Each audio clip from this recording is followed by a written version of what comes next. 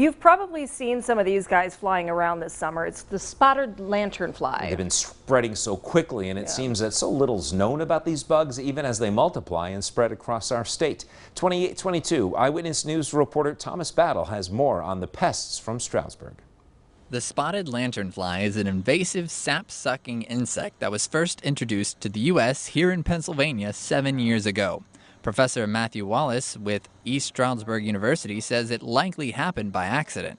So they're spreading mostly by humans, we think. So they lay eggs in the fall, just about now, on various types of structures, including cars and containers, and they can be transported to different parts of the country. That's how the insects likely landed in Berks County in 2014. Now, seven years later, the bugs have spread across Pennsylvania en masse. Currently, there's 34 counties in Pennsylvania that are under quarantine. We know that they're established, and more counties get added uh, every year. They spread more northeast and into New Jersey. While the insects are not predators, do not bite, and are not directly dangerous to humans, these pests may cost the country a lot of money for one reason their food source. So The estimate's in the billions because they do feed on important crops like apples and peaches and especially grapes.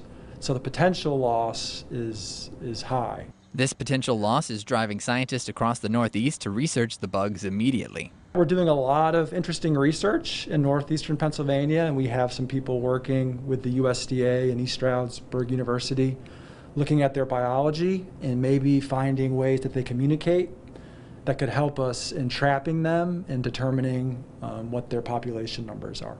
Unfortunately, there isn't a pesticide or a mass means of killing the insects yet. So until a process is found, squashing them with your shoes is the most effective. So if you see one, step on it. A seemingly simple method to deal with a complicated problem.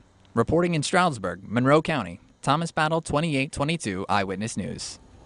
Wallace also says that we are still in the early stages of researching this species, so there's a lot of work that still needs to be done to find out how to limit the spread of this invasive pest.